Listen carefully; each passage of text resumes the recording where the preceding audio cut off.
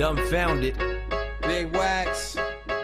I need a dollar, dollar, dollar, that's what I need. Hey, hey. Well, I need a dollar, dollar, dollar, that's what I need. Hey, hey. Said I need a dollar, dollar, dollar, that's what I need. And if I share with you my story, will you share your dollar with me? I got my mind on my money and my money on my mind. So I stay stressed out cause money's hard to find. Even when I find some of it, I always end up shoving it into the pocket that somebody has already got a ton of it. Keep your 99%, I just wanna get one of it. Keep your private jet, man, I'm just trying to keep my oven lit. I need a dollar. Hey, is this yours? Yeah, thanks. No problem. Yeah, it's a nice bike you've got. Thanks. Give it to me. What? Ah.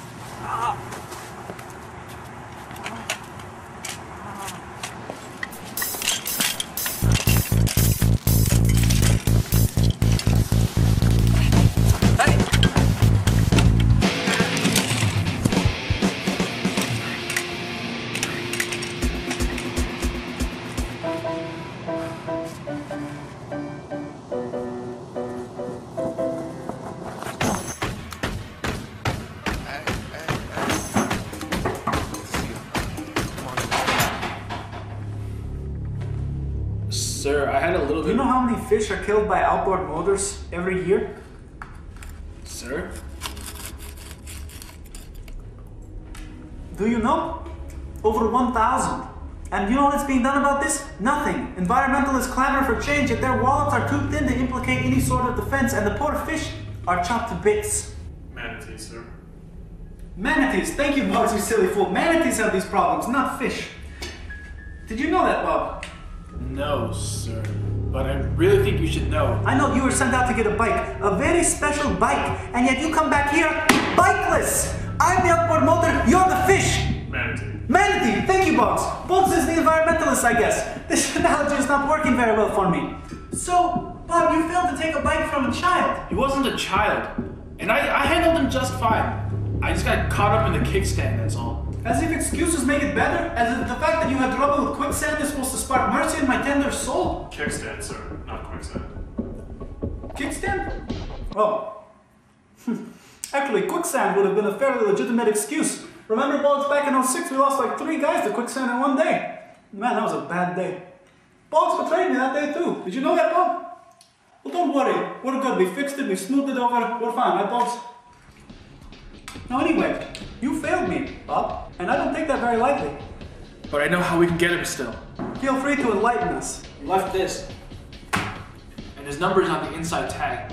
So we can just. Call him and tell him where we are so he can come confront you and I can trade the bike for the glove. You're a genius, Bob. Boggs, go get this man some water. You like water, right, Bob? Yes. Excellent. I will make the call. Yes, Ray? We have your glove and the man who punched you. Good, excellent. We're at 444 Bradburn Street. Great. You, wait outside. What did he say?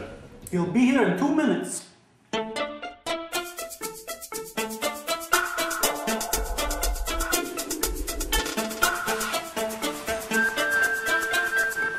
So you're gonna give me my glove back or what? Right to the point. I like this guy.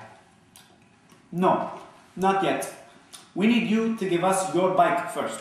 You stole my glove after trying to steal my bike. Whoa, whoa, do not pin this on me. That was Bob. Don't you dare pin this on me. I'm not giving you my bike. I had a feeling we would reach this impasse. Boggs, bring me the antidote. Antidote to what? Poison. You see Bob out there? I just poisoned him. What? Yes, yes, we gave him some poisoned water. It was very easy.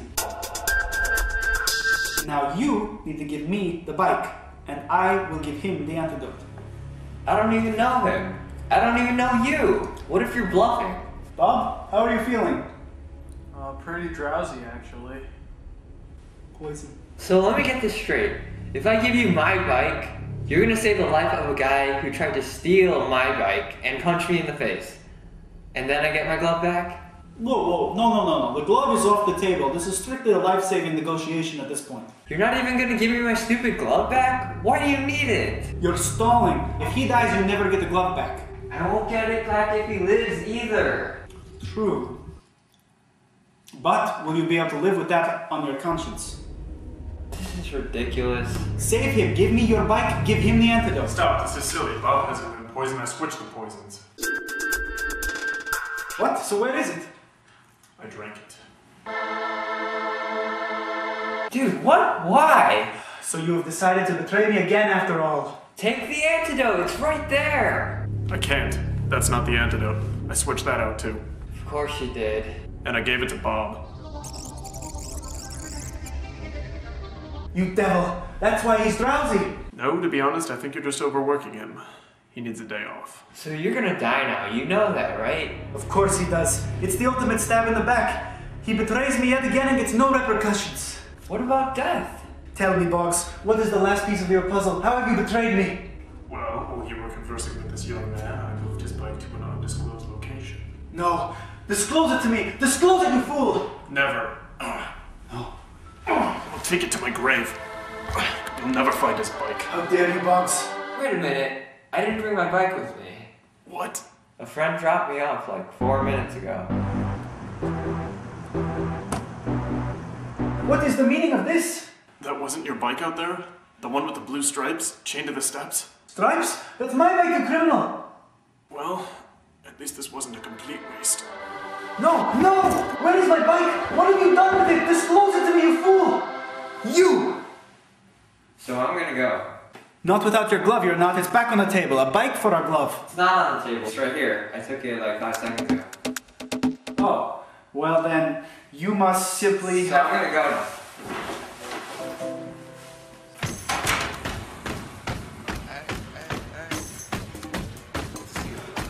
Son of a bitch. Turn to the Mac, get up what it is, what it does, what it is, what it isn't. Looking for a better way to get up out of bed instead of getting on the internet and checking a new hit. Get up, first shot, come struck walking. A little bit of humble, a little bit of cautious. Somewhere between like Rocky and Cosby's for the game. Nope, nope, y'all can't copy yet. And I'm eating at the beat like it gave a little speed to a great white shark on shark week. Raw.